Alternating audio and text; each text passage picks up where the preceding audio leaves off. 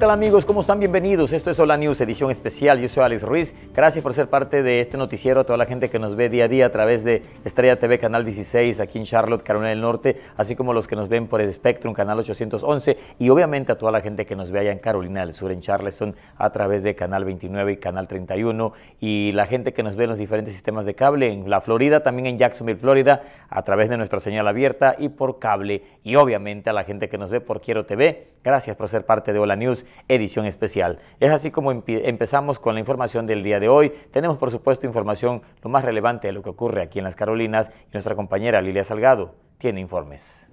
Un nuevo informe de Harvard mostró que un número récord de inquilinos están agobiados por los costos. Esto significa que el 30% de sus ingresos se gasta en alquiler y servicios públicos. En Carolina del Norte, más del 45% de los inquilinos están sintiendo el impacto y en Carolina del Sur es más del 48%. El informe muestra que muchas personas se encuentran en la misma situación. Ha sido un aumento del 10% desde el año 2019 y el número más alto registrado. El alcalde interino de Charlotte, Dante Anderson, dijo que están sucediendo muchas muchas cosas detrás de escena con el ayuntamiento de Charlotte y que están trabajando para ayudar a quienes tienen dificultades y al mismo tiempo proveer el desarrollo. Dijo que es necesario que haya un buen equilibrio. Además de los fondos reservados por la ciudad, hay programas y organizaciones sin fines de lucro que están trabajando para ayudar a las personas. Primero puede visitar el sitio web de la ciudad y buscar programas. Tenemos el programa Homes, puede llamar al 311, dijo el alcalde interino Anderson. Tenemos una aplicación que todos los residentes pueden descargar, pueden buscar asistencia. El condado también cuenta con un conjunto de recursos para ayudar. Reportó para Hola News edición especial Lilia Salgado. Gracias, mi querida Lilia. Ahora nos vamos con nuestro compañero Machado, así le decimos acá, Machado, que de verdad, mis respetos para Freddy Machado, quien ha dado este, uno de los mejores trabajos, dándonos la información más adecuada de lo que ocurre en Jacksonville, Florida. Adelante, Freddy Machado. La economía de Jacksonville estaría desmejorando según una encuesta del proyecto de indicadores económicos locales de la Universidad del Norte de Florida. 10 de los 12 indicadores estarían cayendo, incluida la perspectiva de actividad empresarial. Este panorama estaría llevando a una ansiedad por el deterioro de las condiciones económicas en muchos de sus residentes. Una experta explica cómo si muchas veces darse cuenta la persona cae en ansiedad y depresión. La ansiedad está basada en la preocupación excesiva, ¿no? Y si bien es cierto que las problemáticas son múltiples, cada familia tiene problemas muy variados, salud, eh, algún familiar enfermo, económicos y demás, ¿no? Eh, sabemos que cuando empezamos con este círculo vicioso de la preocupación, empezamos a deprimirnos y la depresión, lejos de ayudarnos a buscar opciones y soluciones, lo que hace es termina quitándonos esa energía para destinar nuestra mente a hacer cosas productivas. Pero ¿qué se puede hacer? El tema es complejo, pero el primer paso es poner en práctica algo que aunque resulta apenas lógico, una importante parte de la población no lo hace y pierde el control de la situación con las consecuencias ya conocidas para la salud física y mental. Por ejemplo, ponernos horarios. De tal horario a tal horario yo voy a pensar de manera reflexiva mientras anoto y escribo todos mis pensamientos, mientras veo qué opciones tengo, qué alternativas, qué voy a poner en práctica, pero después le doy un tiempo libre a ese pensamiento y digo, eh, ahora es mi tiempo libre, este es el tiempo para no pensar, porque aunque siga pensando, hay, hay problemas que no se resuelven por seguir preocupándonos. Y si a las preocupaciones ya existentes se agrega el deterioro de la calidad de vida producto de la ansiedad y la depresión, los problemas aumentan. Por eso es tan importante estar atentos a las señales, especialmente en el entorno familiar, porque la mayoría de las veces el ansioso o depresivo no es capaz de entender lo que le está pasando o comenzando a pasar. Incluso no lo acepta cuando alguien se lo advierte hasta que se le diagnostica médicamente cuando yo siento que las preocupaciones me controlan, que no puedo parar de pensar acerca de un tema, que, que dejo de disfrutar de las cosas de la vida o de las pequeñas cosas de la vida. ¿Por qué? Porque estoy constantemente pensando. Sabemos hoy en día que la preocupación es muy adictiva. No es solamente el cigarrillo, la comida, ¿sí? el alcohol, sino que la forma en la que pensamos y nuestros pensamientos son muy adictivos. Una vez que aparecen empiezan a repetirse, a repetirse, a repetirse, de no tengo trabajo, no tengo trabajo, no me está yendo bien. Cuando empezamos a notar que los pensamientos son así de repetitivos, es cuando podemos empezar a darnos cuenta que hay algunas señales de ansiedad. No son las únicas, también muchas veces aparecen los síntomas físicos, ¿sí? O ataques de pánico. Empiezo a sentir una presión en el pecho, empiezo a sentir contracturas, empiezo a tener problemas digestivos, ese es uno de los síntomas que se representa muy, muy, en muchas oportunidades con la ansiedad. Estamos más irritables, estamos más deprimidos, tenemos más dificultad para dormir, tenemos insomnio. La ansiedad es una condición más común de lo que se cree. Las personas pueden experimentarla a cualquier edad. Lo más importante es identificarla y buscar a tiempo ayuda profesional antes de que estos estados anímicos se hagan habituales en la vida diaria. Freddy Machado, Hola News, edición especial. Gracias, mi querido Freddy Machado. Nos vamos nosotros con más información, pero antes vamos a pasar a ver qué ocurre hasta este último minuto en la sala de redacción de este noticiero con nuestra compañera Alejandra Gallardo, quien está pendiente para darnos la información. Adelante, Alejandra. Así es, efectivamente, trabajando desde la sala de redacción aquí en Hola News edición especial para presentarles la información de último, último momento. Si me permiten, les presento esta información. Cientos de personas se reunieron el martes por la noche en una reunión comunitaria para hablar sobre las algas malolientes que han aparecido en el lago Norman. Los residentes se enteraron que costaría alrededor de 60 mil dólares abordar la cianobacteria lingvia, que es una alga verde azulada. Fue visto flotando en aproximadamente 10 acres del agua, lo que afecta negativamente a los nadadores, las mascotas y las embarcaciones personales, dijeron las autoridades. Las autoridades publicaron un video de vigilancia del momento en que un conductor de autobús urbano recibió un disparo en el noroeste de Charlotte el mes pasado. El conductor del sistema de tránsito del área de Charlotte fue alcanzado por una bala perdida en Lassell Street. Los investigadores dijeron que las personas que viajaban en dos automóviles estaban enzarzadas en un conflicto, cuando una bala perdida entró en el autobús y alcanzó al conductor en el cuello. El Departamento de Policía de Charlotte-Mecklenburg no tenía información sobre los sospechosos del caso. Esta semana se hizo público el video del autobús implicado en el tiroteo. No se publicó más información. Es la información hasta este momento en Hola News, edición especial. Nos vemos a la próxima. Pasen muy buena tarde. Bueno, vamos a ver ahora, vamos a darle un vistazo a las condiciones del tiempo para que se prepare usted. Aquí tenemos la información.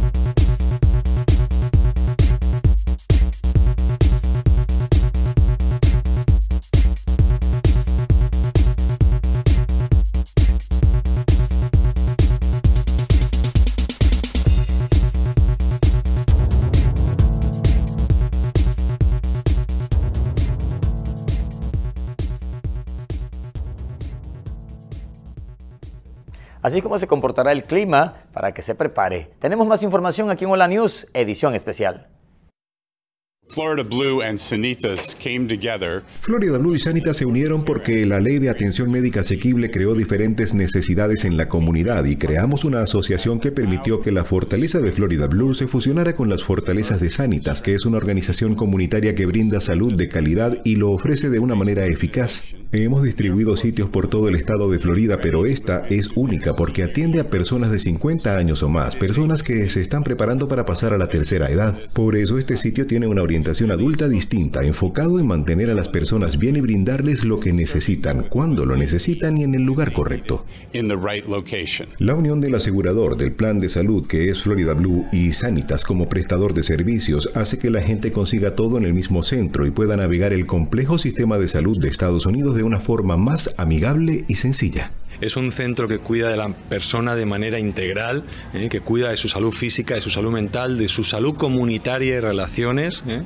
Eh, cuando uno cumple más de 50 años empieza a tener ese síndrome de nido vacío, donde a uno se le van los hijos. Aquí también se cuidan ese tipo de preocupaciones, aquí se va a hacer comunidad y aquí lo que va a sentir sobre todo la población hispana es que se cuida de ellos como se hacía en sus ciudades, donde va a haber mucha tecnología alrededor del centro, pero aparte de eso, sobre todo lo que hay es un toque personal y un toque de unión muy, muy, muy, muy importante y que van, les va a hacer sentir especiales. El paciente entra y cuenta con consultas médicas, pruebas diagnósticas, exámenes de laboratorio y hasta se va con los medicamentos en la mano, todo sin copago en el plan exclusivo para los miembros. Y como de atención personal se trata, el director del centro compartió algunas memorias de sus inicios y cómo aquel joven haitiano que estudió en Estados Unidos y México, donde mejoró su español, llegó a dedicar su vida a ayudar a la gente, que es lo que le apasiona. Medicina no era mi, mi primera carrera que yo quería hacer.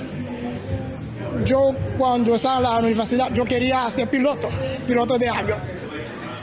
Pero um, dos años antes de graduar de la universidad, tuve un accidente y a partir de ahí cambió toda su perspectiva, lo que lo llevó al servicio y atención de la salud. Destaca lo determinante que puede llegar a ser el aspecto cultural en el cuidado de la salud. Eso es muy importante. Eso es muy importante cuando estás con un paciente o alguien que conoce tu cultura, alguien que puede hablar el mismo idioma. La alcaldesa de la ciudad resaltó la importancia de contar con un centro médico con estas características en la comunidad y celebró que ya sea una realidad para muchos de los residentes del condado. Extraordinariamente importante que podamos seguir facilitando que las personas tengan acceso a este tipo de servicios. La educación sobre esto es muy importante para garantizar que las personas que han dudado para usar el servicio de salud o que no se han sentido conectados tengan la oportunidad y la forma fácil de hacerlo. Estamos muy emocionados. Ocho años de servicios a la comunidad en todo el estado, 38 locales de Florida Blue y con esta ya son 53 clínicas de Sanitas, prestando cuidados y atención a un sinnúmero de afiliados y con una visión de futuro que prioriza el factor humano. Enhorabuena. Freddy Machado, Hola News, edición especial. Y de esta manera pasamos a nuestra primera pausa comercial. Ya volvemos con más. Quédese aquí en Hola News, edición especial.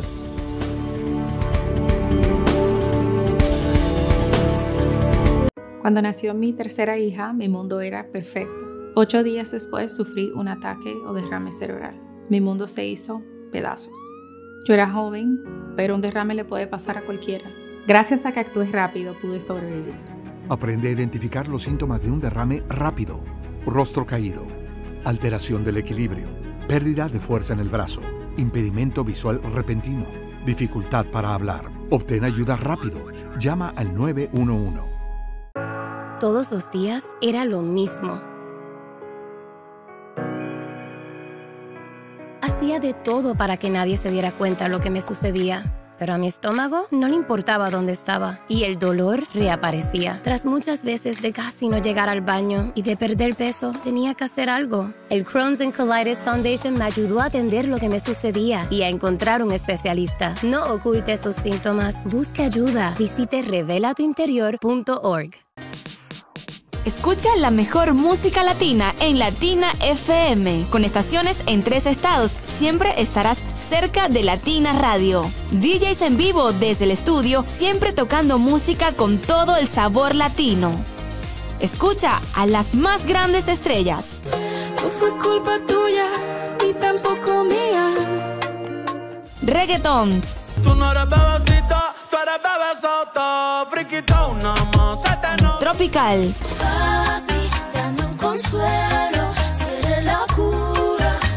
Descarga nuestra aplicación y llévanos a cualquier parte. Síguenos en redes sociales y participa para ganar entradas a los mejores conciertos. Latina tu música. Presentado por tus concesionarios Toyota locales. Vayamos juntos. Visítanos hoy.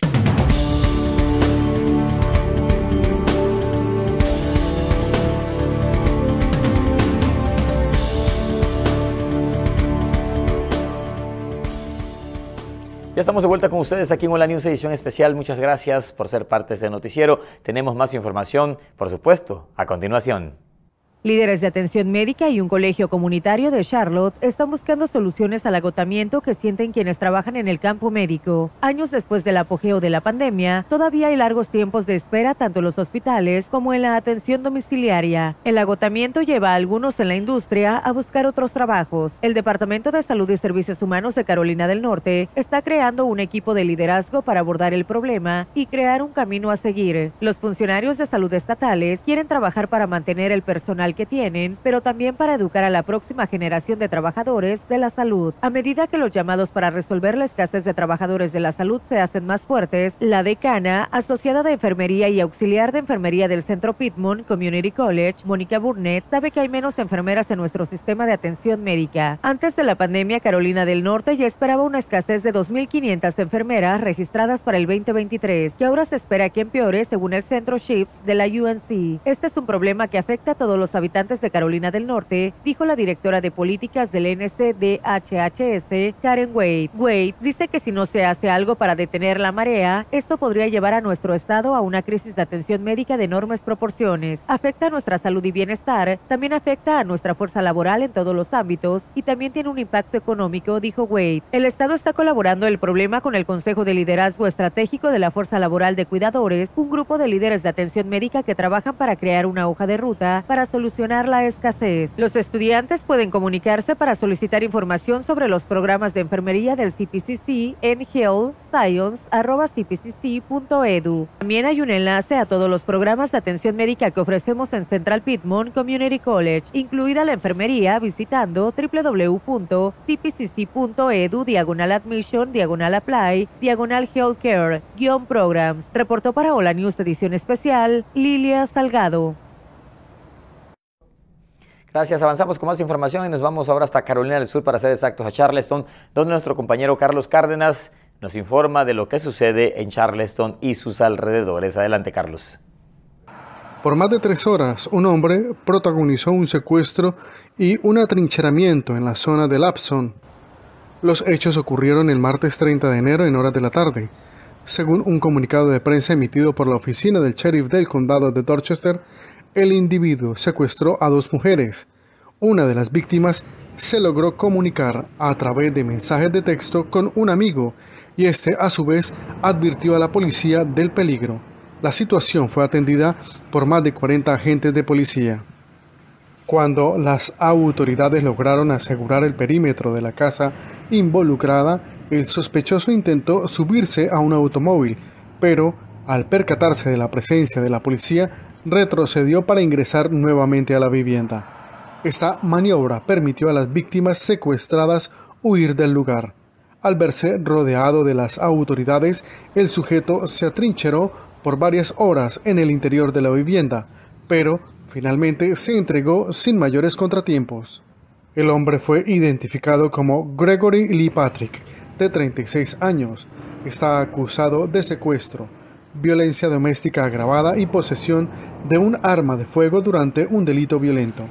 En una audiencia de fianza, el pasado miércoles, se le negó la fianza por el cargo de secuestro.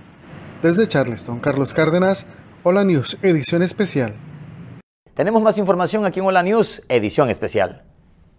El Museo Discovery Place Nature está cerrando sus puertas para dar la bienvenida a una nueva generación de aprendizaje. Los planes llevan años preparándose. El primer museo de la naturaleza del sudeste se está renovando. Conectamos los puntos. Discovery Place Nature abrió sus puertas por primera vez junto a Freedom Park hace más de 70 años y ahora los líderes se están preparando para un museo reinventado. Cuando se abra el nuevo sitio, incluirá un nuevo hábitat para nutrias, un laboratorio de aprendizaje y una enorme colección de animales de especies locales. Todas las actualizaciones están diseñadas con la esperanza de enseñar a los niños sobre el ecosistema de Carolina del Norte. Los diseñadores dijeron que el nuevo museo también traerá beneficios a Freedom Park, incluirá jardines públicos y espacios comunitarios que estarán disponibles para todos, no solo para quienes pagan la entrada al museo. Para aquellos que aún quieran visitar el antiguo museo antes de que cierre, la entrada es gratuita y continúa hasta el miércoles para las entradas obtenidas en línea. Reportó para Hola News edición especial Lilia Salgado.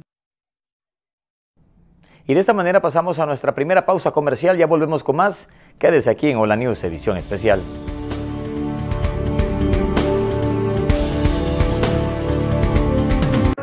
Todos los días era lo mismo.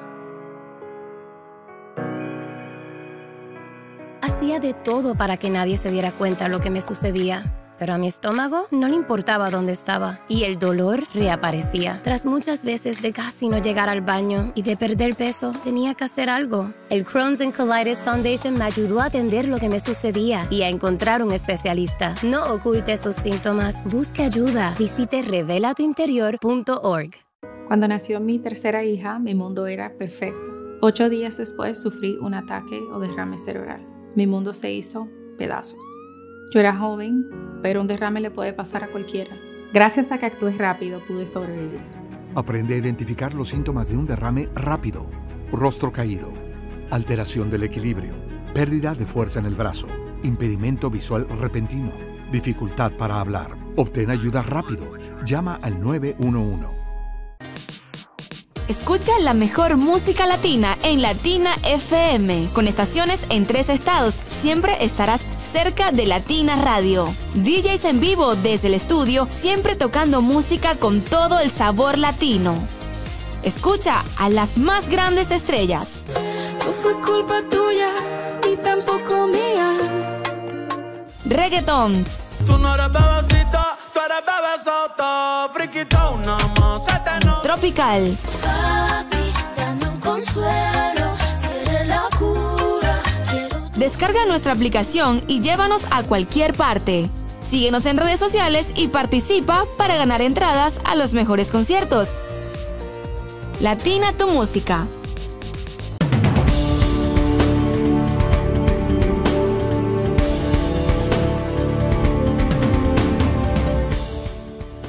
Seguimos con más aquí en Hola News edición especial y por supuesto la información está al día con nuestro compañero Carlos Cárdenas desde Carolina del Sur. Adelante Carlos.